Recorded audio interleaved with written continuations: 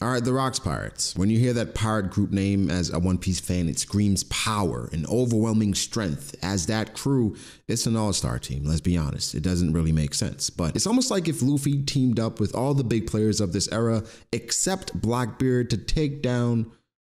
Wait, hold on. That's that's actually not a bad idea. Was Rocks onto something? Hmm.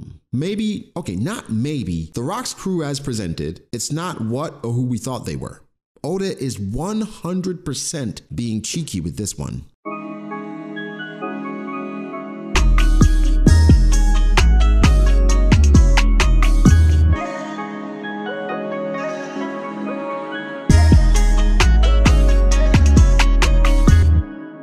So, Rocks. I'm sure for killing his lipstick and eyeliner was 100% jealous of this crew's name when he found out. Either way, this is the greatest pirate crew ever assembled. When we look at these individuals, chemistry does come into question as the personalities, it screams dysfunction, but somehow they made it work well enough to accomplish everything they did, right? They were erased from history. But what do we know about this pirate crew? To be quite honest, how Oda typically does things, it's been a slow burn. But even based on that, or based on what we think we know, is just one perspective. Stay with me here. You're watching this video, right? And I'm breaking things down down about the story. And that's based on my cognitive ability and how I assess things, right? You happen to watch someone else, they may come to a completely different conclusion. Are either of us wrong? Not necessarily, but it's a different perspective, which one can appreciate. And One Piece is a series that's about perspective, but really it's about a lot of things. If someone ever tells you that One Piece is about one specific thing, stop listening to them, they're lying. One Piece has a vast majority of things that it conveys or tries to, and it's part of the reason why it's the greatest of all time. Perspective versus reality in this situation 100% applies, okay? Okay? Rocks is painted as the terrible big baddie, but to others, he may have been a shining glimmer of hope. Others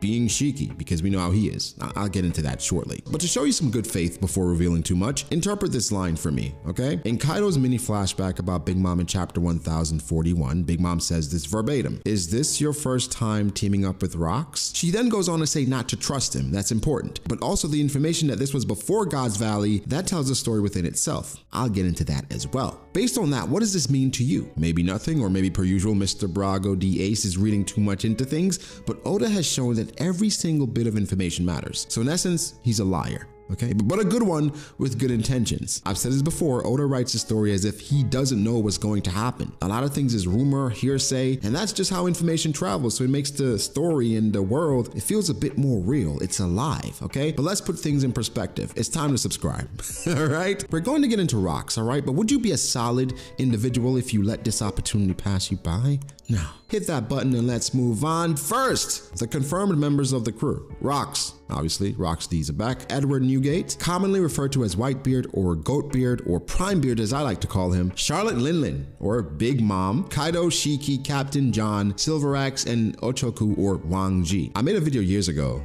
at this point, documenting how Silver Axe and Wang Zhi were more than likely in Thriller Bark, Captain John as well, obviously, but it's interesting stuff. I'll link it below. Either way, this crew was solid at worst. All right, it had Rocks, who was a D and a demon, based on the reports from the world government. But then Whitebeard, who would go on to be the strongest man in the world.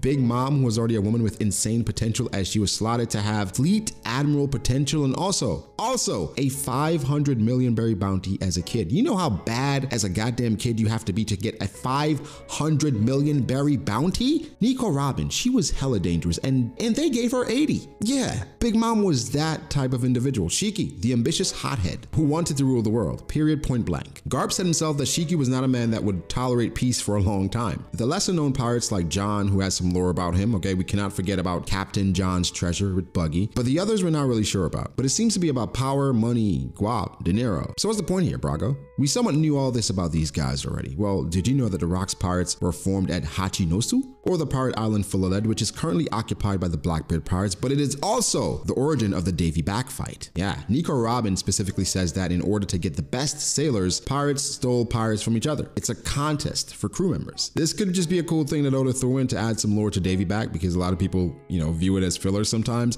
which they are crazy. What the hell are they talking about? But I believe it's telling. How the heck did Rocks convince these ambitious, arrogant, and forthright people to sail under his flag? The more likely scenario is that he beat them in various things to gain their fealty, but it was not without incentive. They were going to be even more rich and even more powerful. So for these collection of pirates, why would riches and even infamy and also information be relevant? They could get that on their own, sure, but not at the same rate if they followed Rocks. Him already being a D and being so dangerous to have been erased from history, he managed to convince all these individuals the value of working together, which, you know, personally, when it's a group project, I don't see the value because there's always some or one person who doesn't do shit, but they get the same grade. I'm sorry, just flashbacks. Anyway, that's what it was like, right? You were coming together to do a group project, right? It wasn't about trust or camaraderie, right? That's not how it works with group projects in school, right? It's just a random group of people coming together to achieve a goal. Big Mom confirmed that, not about school, and projects, but she confirmed herself when she stated not to trust Rocks. He's a scoundrel, she said, meaning she herself was probably swindled into fealty or misled in some way. But back to these individuals and their personalities. Okay, Oda chose this group of pirates for a reason. They were all searching for something, and they needed what Rocks could provide. For Big Mom, maybe it was birth control. Either way, for Rocks, his intentions are explained to be the king of the world, which is quite lofty goals, but hey, believe in yourself, right? I mean, Buggy at some point, he thought he could be the pirate king. He probably still does. But these people all wanted and needed things. For Whitebeard, we found out that he was supporting an island, Sphinx. And Sphinx, just to remind you guys, these are outcasts who were abandoned due to their inability to pay the world government. And now that I think about it, it's almost like how Oden turned Kuri and Wano from a lawless area to somewhere people can live and be free. So Oden and Whitebeard were truly brothers in different ways. I'm sure they discussed this at some point. Either way, Whitebeard was using his earnings from piracy to support his hometown. So money was something he needed, money and treasure and even influence to protect the people that he cared about. With Big Mom, we know her appetite and ambition, it could not be controlled, but she was always seeking out information due to how she lost her family. She ate them niggas, but she lost her family, but also her goals were to create, one of her goals at least, was to create this utopia. Rocks, with his presumed knowledge and promise of power and money, Big Mom saw this as an opportunity to acquire those things. Again, Big Mom has been shown to try to team up with people in the past. For the Vinsmoke, it didn't end well, but for her, it didn't end well with Loki. What goes around comes around, I guess. Also, something that isn't mentioned as much in the story, which I think makes sense,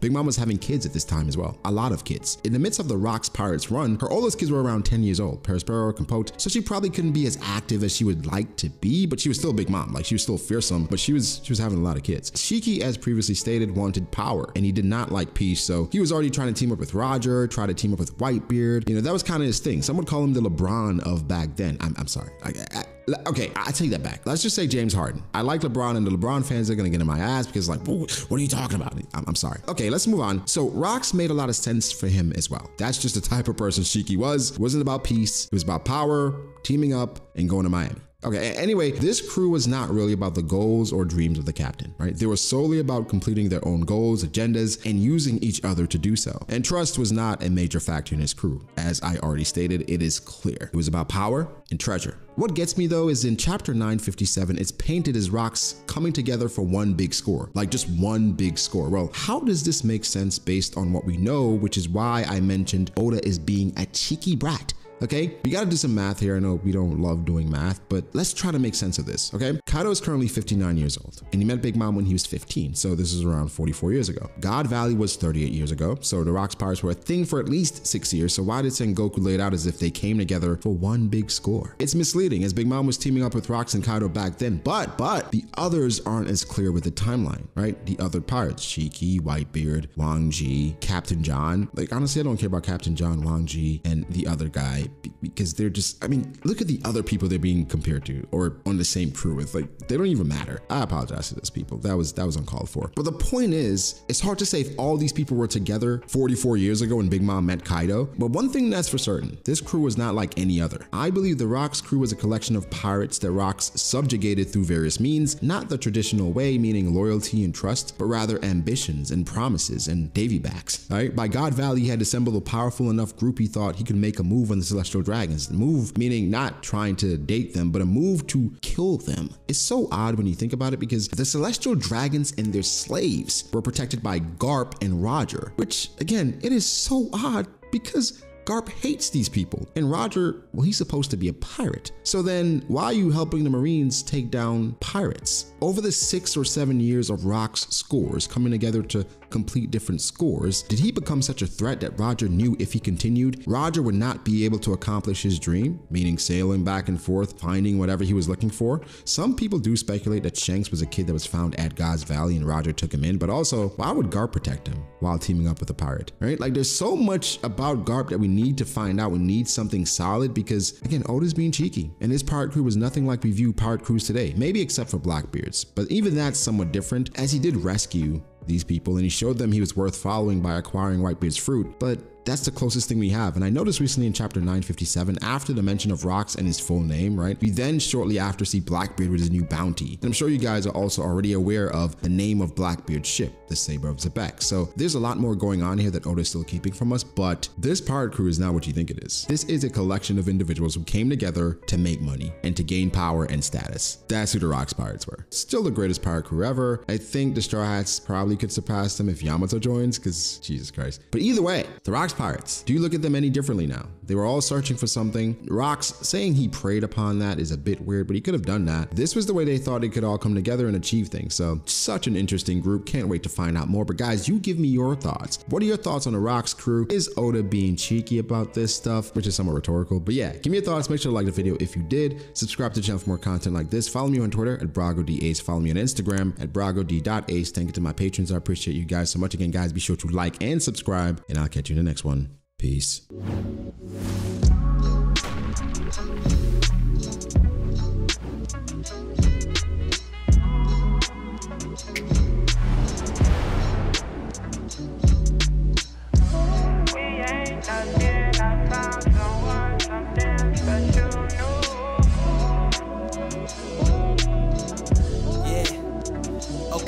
I start doubting me, I felt lost. I rewrite it.